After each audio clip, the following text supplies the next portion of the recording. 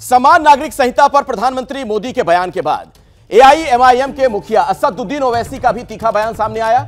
ओवैसी ने कहा कि भारत विविधताओं का देश है और समान नागरिक संहिता आने से सिर्फ़ मुसलमानों से जुड़े पर्सनल नियम ही नहीं बदलेंगे, बल्कि हिंदुओं पर भी बड़ा असर होगा। उन्हें मिलने वाली कई सुविधाएँ खत्म हो जाएँगी।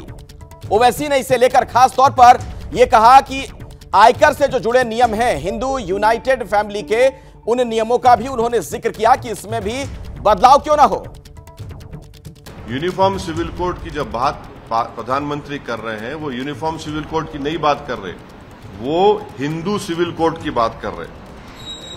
पूरे जो इस्लामिक रेफरेंसेस है प्रैक्टिसेस के, उसको वो इलीगल ट्रीट करेंगे और पूरे हिंदू प्रैक्टिसेस को प्रधानमंत्री under under the law protect कर लेंगे।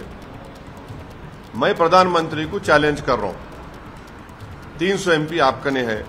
आप हिंदू अनडिवाइडेड फैमिली को एबॉलिश करो पहले नंबर वन कर सकते क्या आप? बीजेपी और प्रधानमंत्री, ये बात को भी भूल गए।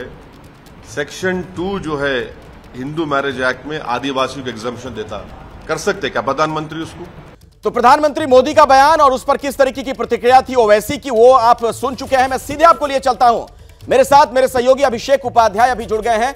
अभिषेक, कुल मिलाकर, क्या यह कहा जा सकता है कि प्रधानमंत्री मोदी ने 2024 के चुनाव का एजेंडा सेट कर दिया आज?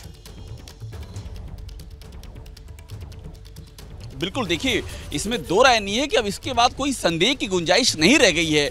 और प्रधानमंत्री के इस बयान के पहले की कुछ जो कानूनी एक्सरसाइज चल रही है, उनको भी हमको देखना होगा।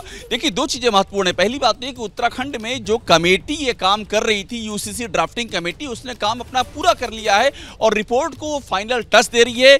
एबीपी न्यूज़ ने सबसे पहले उत्तराखंड के या देश के पहले यूनिफॉर्म सिविल कोड का पूरा ड्राफ्ट सामने रखा था।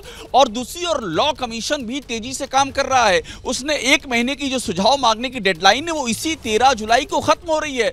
और इसी बीच में प्रधानमंत्री का ये बयान कि एक घर में दो कानून कैसे चलेंगे? एग्जैक्टली ये ये सारी तस्वीर साफ़ हो जाती है कि कॉम यूनिफॉर्म सिविल कोड सबसे बड़ा 2024 का एजेंडा है और जिस तरह से लॉ कमीशन काम कर रहा है और सिर्फ़ एक महीने का का सुझाव का टाइम दिया है, उसके बाद वो आगे की गतिविधियाँ करेगा।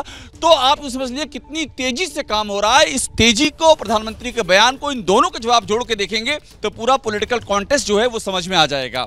चलिए बहुत बहुत शुक्रिया अभिषेक। दोबारा मैं आपके पास लौटूँगा। दरअसल यूनिफॉर्म सिविल कोड को लेकर प्रधानमंत्री मोदी का जो बयान था उसी दिशा में बीजेपी के कई नेता पिछले काफ़ी दिनों से बयान दे रहे थे। लेकिन जिस तरीके से अब प्रधानमंत्री का भी बयान आ गया उसके बाद करीब करीब चीज़ें तय हैं स्पष्ट हैं। जैसे ही घड़ी का काटा दोपहर ढाई पे आए बबीता जी का दिल सास बहू साजिश के लिए मचल जाए। और ये है इनकी बहू। पूरे दिन ऑफ़िस की टेंशन हो जाए गॉन जब ये करें अपना फेवरेट शो फ्री टाइम पे ऑन इनकी तरह, आप भी देखें अपना फेवरेट शो अपने टाइम पर. और डाउनलोड कीजिए एबीपी लाइव ऐप अपने स्मार्ट टीवी पर.